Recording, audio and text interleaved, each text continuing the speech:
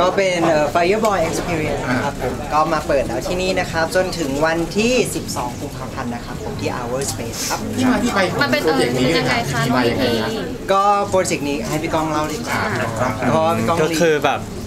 พอดีแบบพอฟังเพลงไฟบอยอย่างเงี้ยรู้สึกว่าเออมันมีความเป็นแบบคาแรคเตอร์ที่เราอยากทำเลยก็เลยแบบว่าลองลองคุยกับ โปรดิวเซอร์แล้วก็แบบว่าคุยกับพีพีด้วยว่าแบบอยากอยากทำเอ่อ MV ใหม่ขึ้นมาไหมอะไรเงี้ยครับผม ครับผมก็จริงๆก็ก็เริ่มมาจากตรงนี้ แล้วก็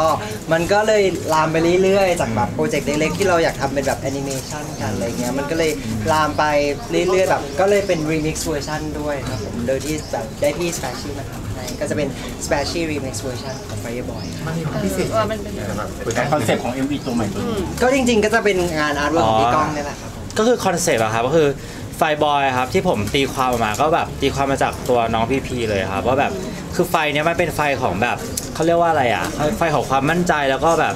ผมเคยฟังสัมภาษณ์หลายครั้งก็แบบเออแบบการที่แบบพีพีแบบเป็นแบบเขาเรียกว่าอะไรอะพัฒนาก็ละขี้อายด้วยใช่ไหมครับครับ แล้วก็เหมือนแบบเปลี่ยนเป็นความมั่นใจเปลี่ยนเป็นเหมือนไฟที่แบบว่าพลังงานของคนรุ่นใหม่อะไรเงี้ยครับผมก็เลยนำเสนอออกมาเป็นแบบในรูปแบบนี้ครับ พีพีเป็นไงบ้างที่แบบว่าพี่ก้องแบบหยิบเพลงของเราขึ้นมาทำอะไรอย่างเงี้ยค่ะก็ที่จริงดีใจครับ ดีใจที่แบบเหมือนตัวพี่ก้องก็สนใจในตัวพี่ด้วย แล้วก็ในงานเพลงของพี่ด้วยครับผมแล้วก็จริง ๆ ตัวพี่เองพี่ก็เป็นแฟนสำหรับตัวศิลปะตัวพี่ก้องอยู่แล้วครับก็เคยคุยกันบอกว่าเหมือนแบบเราก็อยากได้รูปภาพของด้วยอะไรอย่างเงี้ย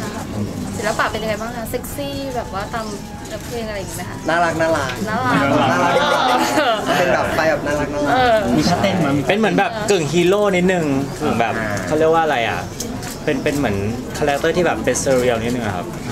มันก็จะ present พีพีเป็นเป็นลักษณะแบบไหนเลยแบบนั้นใช่ครับ เพราะว่าผมรู้สึกว่าด้วยคำว่าไฟบอยด้วยอะครับผมมันแบบว่าเหมือนเขาผมไม่อยากผมว่าจากจากคนธรรมดาอย่างเงี้ยแต่พอเราแบบมี power มีพลังของแบบ ตัวเองเป็นอะไรอย่างเงี้ยไฟมันก็ลงอะแล้วใช่ไหม เหมือนมงลงพี่พีพีได้เข้าไปดูในส่วนไหนบ้างวะเข้าไปดูว่าเอออันนี้ชอบตรงนี้ตรงไหนออกความคิดเห็นยังไงก็จริงๆพี่ว่าในในด้านงานตัวพี่ก้องอะไรเงี้ยพี่ก็ให้ให้ให้พี่ก้องเต็มที่เลยครับผมเพราะจริงๆเราเชื่ออยู่แล้วว่ายังไงมันก็ต้องออกมาดี พี่ต้องต้องใช้เวลาพูดคุยกับพีพีนานแค่จะดึงแต่ละส่วนแต่ละภาพแต่ละด้านของพีพีออกมาไม่ไม่ค่อยได้คุยครับเพราะว่าติดตามพีพีอยู่แล้วไม่ค่อยได้คุยเพราะไม่อยากคุยก็ติดตามพีพีอยู่แล้วครับรู้ว่าเป็นยังไงด้วย แบบว่าดูแบบดูสัมภาษณ์ดูอะไรอย่างเงี้ยดูวิธีนำเสนออยู่แล้วทำไมงั้นนิยามถ้าถ้าจะต้องทำพิธีขึ้นมามันนิยามเนี่ยที่เราคิดไว้ตั้งเป้าไว้ก็เป็นตัวของตัวเองเนาะแล้วก็มี positive energy ครับ แล้วมีไฟที่เหมือนพูดถึงความแบบสว่างความแบบไร้ของเขาอะไรอย่างเงี้ยพี่พีเห็นแล้วเป็นยังไงบ้างครับ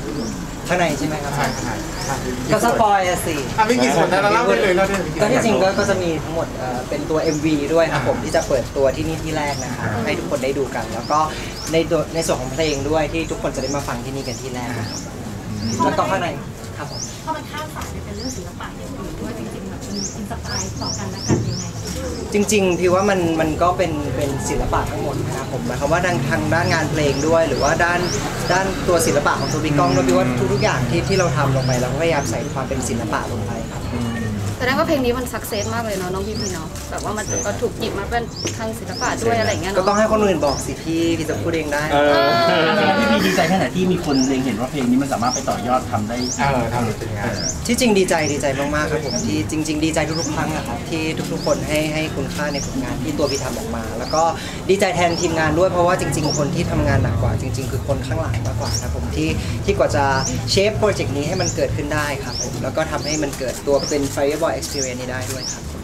อย่างที่ต้องมองว่ามันจะต่อยอดยังไงได้ไหมการร่วมงานกับศิลปินที่เป็นแบบ artist ด้านเพลงอะไรอย่างเงี้ยหรือว่าเป็น FC หรืออะไรอย่างคืเงี้อยผมรู้สึกว่าตอนเนี้ยคือมันมัน cross over กันหมดแล้วไม่ว่าจะเป็นแบบ art commercial art หรือว่าเป็นศิลปิน หรือเป็น artist อะไรอย่างเงี้ยผมรู้สึกว่ามันคือการแบบ collaboration เนาะผมรู้สึกว่ามันก็ทำให้วงการศิลปะ แล้วก็วงการ soft power อะของประเทศมันดีขึ้นอยู่แล้วอะไรอย่างเงี้ยครับ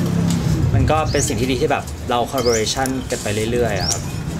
อย่างนี้ถ้ามีโปรเจกต์เพลงหน้าได้คุยกันไหมว่าจะเอกกับปีต่อเลยไหมสามคนพี่ก้องก็จะทำให้หนูอีกไหมล่ะเออคุณพูดทำทำทำถ้าพูดขนาดนี้พี่ก้องจะทำจะให้อีกไหมทำสติกเกอร์ให้เอ้ยอะขอสี่ตัวได้ไหมได้เพราะว่าสติกเกอร์หลายคนจะถามว่าอยากเห็นที่พีแนวเซ็กซี่ที่เป็นอย่างแอนิเมมัชันนมาเซ็กซี่ไหมครับวันนี้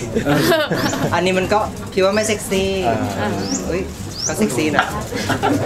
ก็ก็เป็นพี่ว่ามันก็เป็นคอนเซ็ปต์ของตัวพี่ก้องนะใช่ผมรู้สึกว่าผมอยากนำเสนอให้มันดู pure จริงๆอะคือเราไม่ได้แบบคือเราไม่ได้มีแฟชั่นเข้าไปครอบเราไม่เราไม่ต้องมี costume แต่เราคือพูดถึงhuman ที่มีพลังไฟออกมา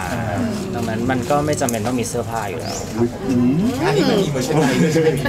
ครับผมก็จริง ๆ ก็อย่างที่พี่บอกไปว่ามันมันก็ลามไปเรื่อยๆจนสุดท้ายอะ คือเหมือนพอเราเห็นงานออกมาเป็นหลาย ๆ รูปแบบแล้วอะไรเงี้ยเรารู้สึกว่าแบบอืมเราก็อยากจะทำให้คนเอาไปเก็บไว้ด้วยอะไรเงี้ยเป็น art piece ของทางตัวพี่ก้องด้วยก็เป็นแบบเป็นตัวไฟเ e อร์บอยของทางพีด้วยอะไรเงี้ยครับ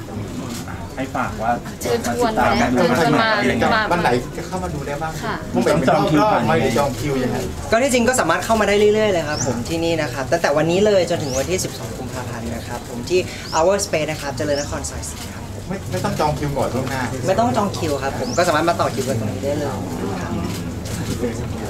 รับพี่ต้องไปไม่เสียไม่เสียค่าใช้จ่ายอะไรเลยนะไม่ไม่มีเสียค่าใช้จ่ายอะไรทั้งสิ้นครับผมที่จริงเข้ามาได้เลยครับก็ฝากมาชมเอ่อเพลงใหม่ของพี่เออไม่ใช่เพลงใหม่ new version ของ เป็น new EP version ด้วยครับ แล้วก็สามารถมาดูงานศิลปะได้ด้วยครับผม